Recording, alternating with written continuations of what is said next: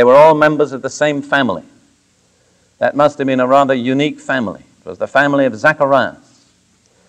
In Luke 1:15, when the angel appeared to Zacharias and told him that he was to become the father of John the Baptist, the angel said about John the Baptist, He shall be filled with the Holy Spirit even from his mother's womb.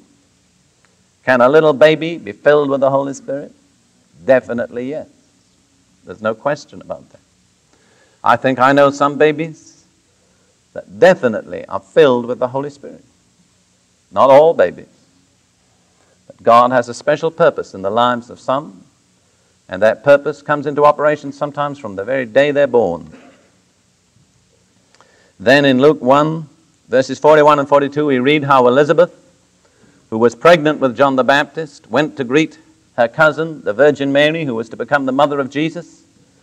And when she heard the salutation of the Virgin Mary, the unborn baby in her womb leaped for joy six months old. And let the judges and the sociologists say what they will, but the Bible teaches very clearly that an unborn baby has personality and is a, is a real soul. And in my personal opinion, to destroy the life of an unborn baby is murder. And I happen to know from experience that's exactly how God categorizes it. I've prayed with many women who needed to be delivered from the spirit of murder. And whenever I hear that spirit declare itself, I just say to them, Did you ever procure an abortion? And almost invariably, the answer is yes.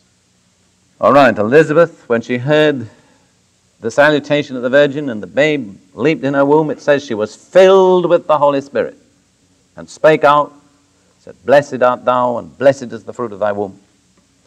And then in Luke 1 67, at the time when John the Baptist's name was given to him as an infant, and his father took the tablet and wrote, His name is John. Not his name is going to be John, but his name is John.